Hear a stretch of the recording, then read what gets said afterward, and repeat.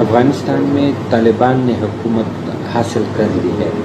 इस पर और कबायली इलाकों में तहरीक तालिबान के आने पर एक दफ़ा फिर ज़ोर पकड़ने पर। आप क्या कहेंगे? हम तो यही कहते हैं ये यही जवाब मैंने दिया।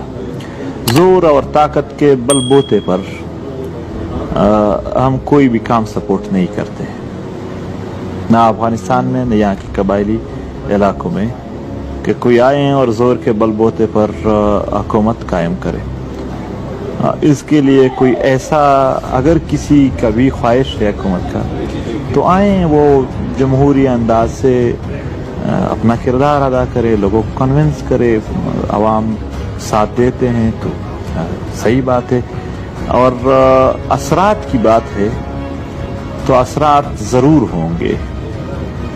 और इसको वो लोग भी समझ रहे हैं, इस असरात को, जो काबल की फतह की जश्न मना रहे थे, वो भी इन असरात से बाखबर थे। तो असरात ज़रूर होंगे, फिर अंदाज़ा लगाएँगे, फिर इन लोगों के बयान सुनेंगे कि क्या इन लोगों का जो, यानी जिन लोगों ने यहाँ पर, या मजहबी पार्टियाँ या पाकिस्तान के गवर्नमेंट कि उन्होंने वहाँ पर वेलकम किया तो क्या वो यहाँ पर वेलकम करते हैं या नहीं?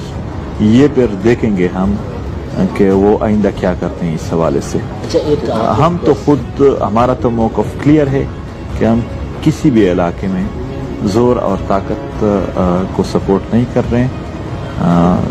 और अमन जो तरीके हैं और जमहूरी जो तरीके हैं उसकी बात करते हैं।